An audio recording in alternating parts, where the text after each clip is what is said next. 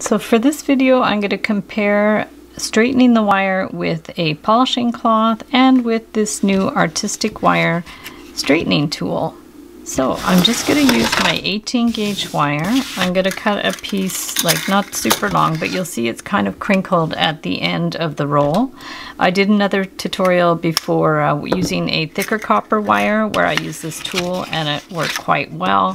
So basically what you're going to do is take the wire and you are going to just stick it like this in the tool and close it up.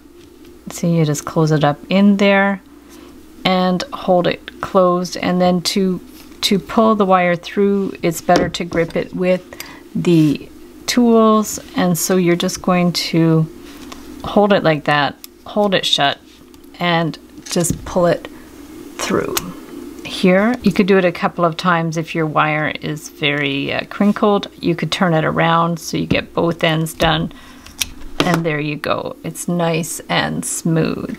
Now we'll try it with the polishing cloth. So we'll cut another piece. This is how I've always done it. My husband has his own funny technique. I'll slip in a little video clip of him uh, rubbing the wire on our dining room table. So now we're going to get the polishing cloth. If it's dirty, the, the wire, you use the chemical side to, to wipe it first because that you know, puts a chemical on it that cleans it up. And then this is the polishing side, the yellow side.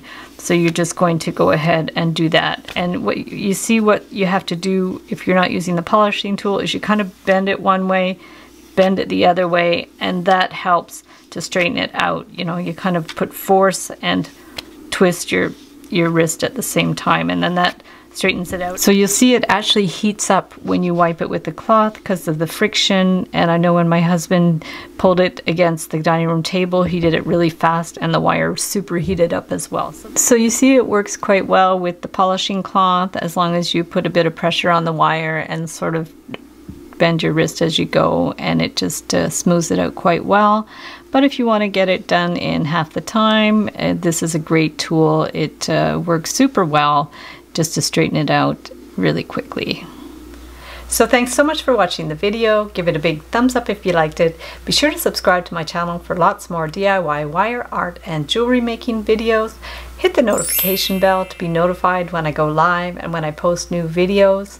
And if you'd like to share pictures of your wire art and jewelry, be sure to join the Wire Art and Jewelry Makers Club on Facebook. And if you'd like to check out my wire work on Etsy, my husband and I specialize in custom wedding cake toppers and funky jewelry.